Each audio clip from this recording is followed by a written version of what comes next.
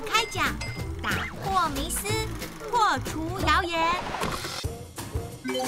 帮宝宝泡牛奶，应该要用几度的水呢？网络传言，喝母奶的宝宝遇到黄疸时，最好停喝。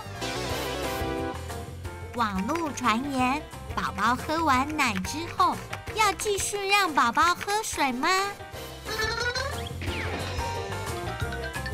您还有什么问题吗？欢迎留言告诉我们，我们将请专业的医师来替您解答。记得锁定直播哦。